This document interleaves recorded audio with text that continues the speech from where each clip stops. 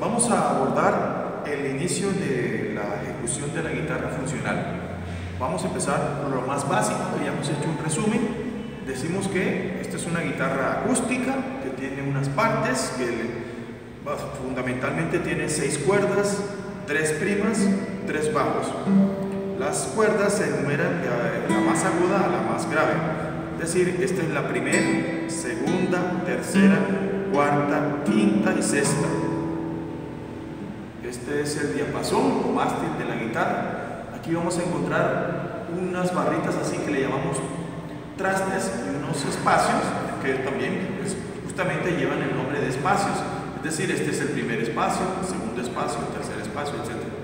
El clavijero que nos sirve para afinar la guitarra y el cuerpo del, instrumento acústico, eso es lo que tenemos. Bueno, entonces vamos a repasar la digitación, mano izquierda, ¿sí? este dedo tiene nombre sino cumple una función de soporte o de arrastre, acá, bien, y la mano izquierda, la digitación es 1, 2, 3 y 4, voy a repetir, 1, 2, 3 y 4, la mano derecha, acá vamos a utilizar pulgar, índice, medio, anular. Este meñique casi que no interviene.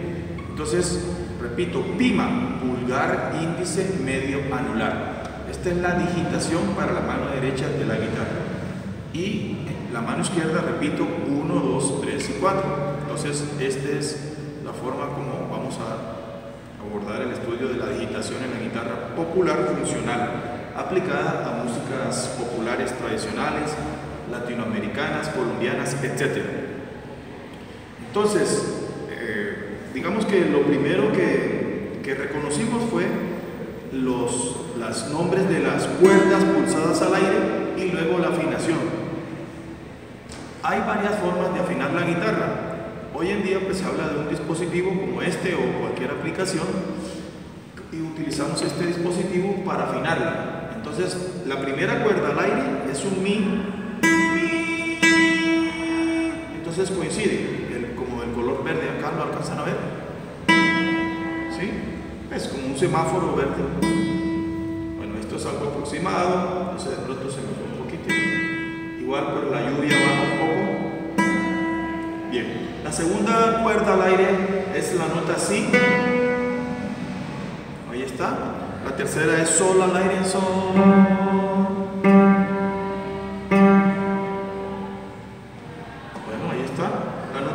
es la cuarta cuerda al aire. Cuando veo que no me aparece el verdecito, pues la subo un tris y ahí más o menos se aproxima. Bueno.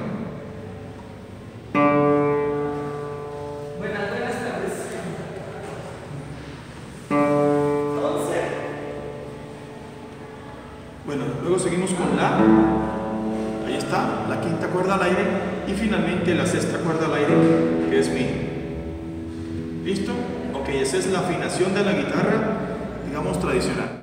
Ahora vamos a ver, digamos, la forma de sentarnos para tocar la guitarra. Entonces nos colocamos de pie, ¿sí? relajados, hacemos ejercicios de calentamiento, brazos, manos, muñeca, etc. Eso lo hacemos en clase y tomamos una silla y nos sentamos casi que en el borde, ¿no?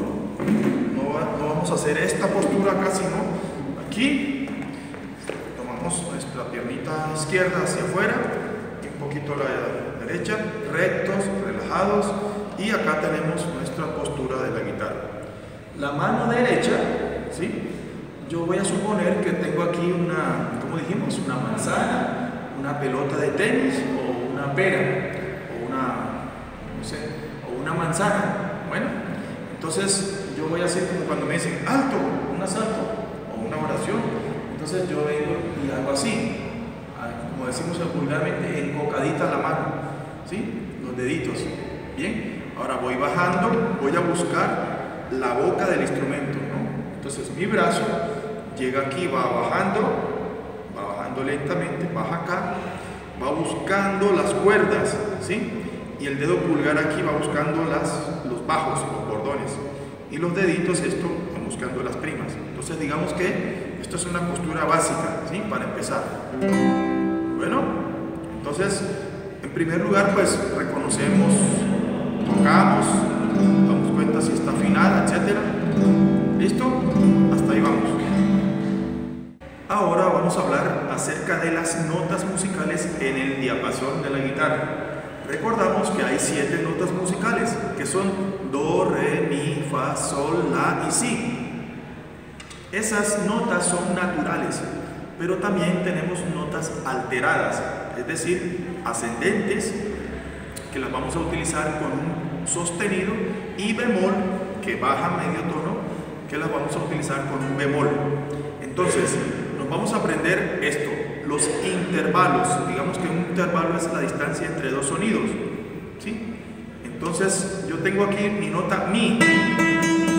Vamos a aprendernos que entre la nota Mi, base en una escala mayor diatónica, que tiene, es decir, yo voy a empezar una escala, Do, Do, luego de Do que viene, Re, de Do a Re, en la escala mayor diatónica tenemos un tono. En guitarra, un tono es dejando un espacio de por medio. Esto es un tono ascendente, Do, Re.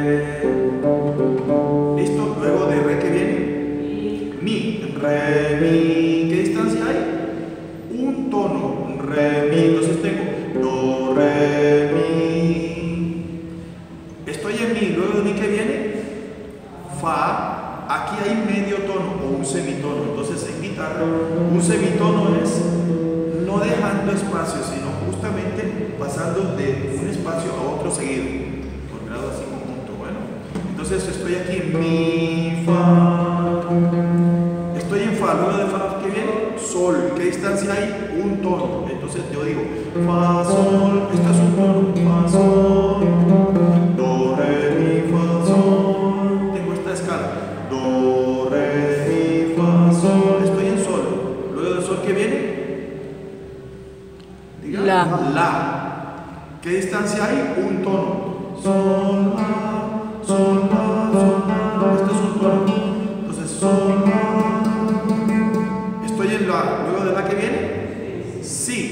distancia hay? Un tono. La, Si, La, Si, La, Si. Estoy en Si. Luego de Si que viene. Do. Do. ¿Qué distancia? Medio tono. Entonces esto es medio tono en la guitarra. Entonces aquí me aparece una escala mayor. Do, re, mi, fa, sol, la, si, do. Do, si, la, sol, fa, mi, re, do. Bueno, entonces vamos a aprendernos las notas en el diapasón de la guitarra con base en esa, en esa fórmula. Entre mi y fa hay medio tono y entre si y do también hay medio tono. Los demás son un tono. Voy a repetir qué es un tono en guitarra. Esto es un tono en guitarra, dejando un espacio de por medio. Esto es un tono. Entonces, si yo estoy aquí, me dicen haga un tono, yo hago esto. Si estoy aquí, haga un tono descendente, yo hago esto. Un semitono es lo contrario, es no dejar espacios. Estos son medios tonos, o sea, semitonos. ¿Entendido? Entonces eso se llama cromatismo. Bien, bueno.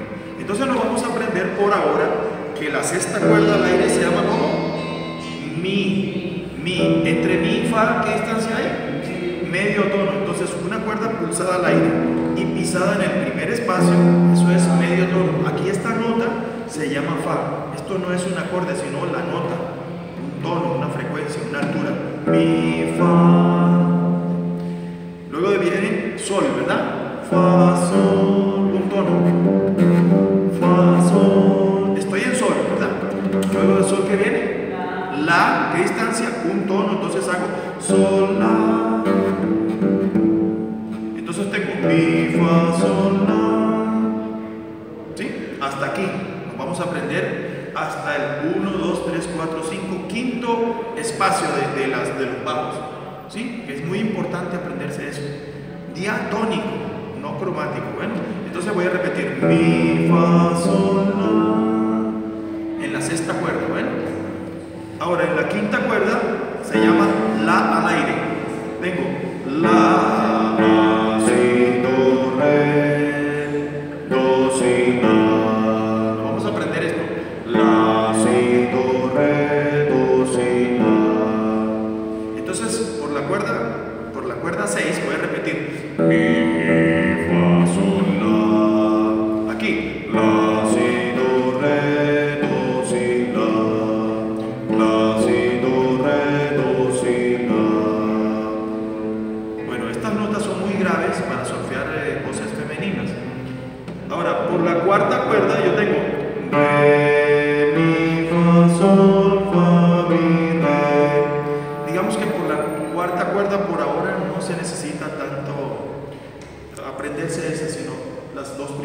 ¿Listo? Bien. Ahora vamos a estudiar los dibujos, mapas o modelos de acordes básicos en la guitarra, sin cejilla. Este dispositivo que vemos acá se llama cejilla o secuela, ¿bien? Pero por ahora vamos a hacer los acordes más básicos en la guitarra. Bueno, como esta sexta cuerda al aire se llama Mi, pues vamos a por la sexta cuerda. Entonces, hay seis o siete tipos de acordes en la armonía funcional tonal. Pero los acordes más importantes, digamos, son dos o tres. Vamos a ver los tres de una vez. Un acorde mayor,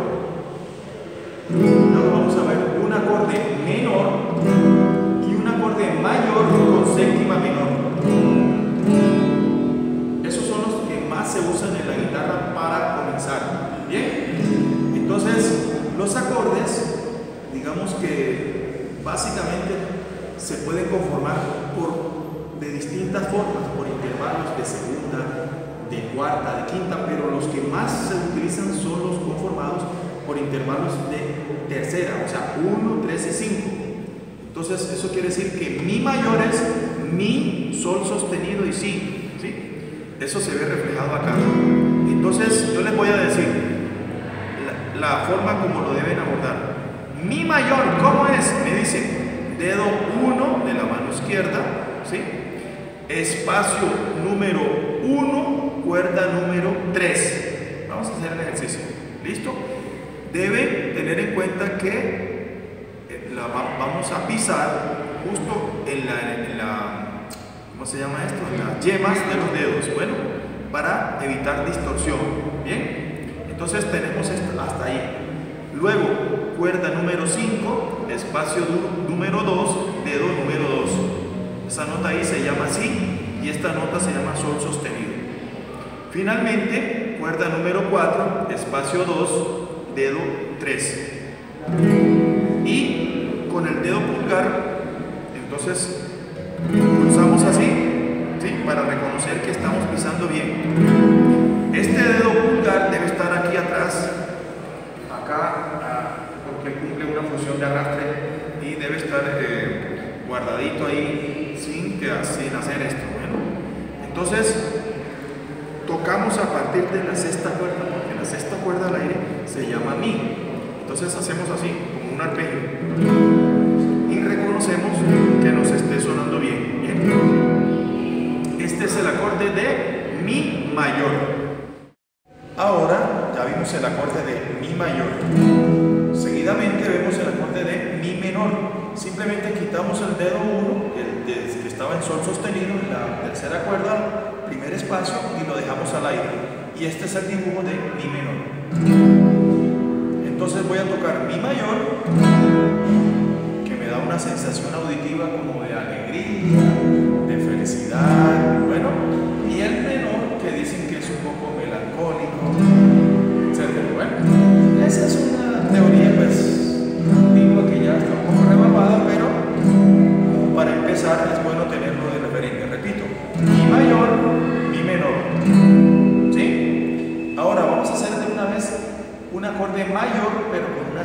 menor. Esos acordes los vamos a llamar 7, es decir, eh, X. Cuando ustedes vean un acorde 7 es un acorde mayor, pero con una séptima menor. La séptima menor está un tono debajo de la fundamental. Entonces, si yo estoy en la nota Mi, un tono debajo de Mi, ¿cuál será? ¿Cuál es? Re, Mi, Re. Entonces, mire que voy a dejar este Re al aire. Me queda este dibujo así. Otra es tocarlo en la segunda cuerda, tercer espacio con el dedo 4, el dedo meñique, el pequeñito. Entonces me quedaría así. Otra opción es tocarlo así en mi mayor y con el re acá. Entonces puedo, voy a repetir. Mi 7 es así. Así, así o así. Cualquiera de las tres. Eso ya es a criterio de el guitarrista que las seleccione. Bueno, ahí vamos. Entonces voy a repetir. mi mayor por la sexta cuerda, como empezamos por la sexta cuerda, el bajo en mi, mi mayor, mi menor y mi 7. Digamos, tomemos este dibujo, ¿sí? que es muy fácil, pues, es decir, la cuarta cuerda queda al aire, que ese es un re. ¿Entendido?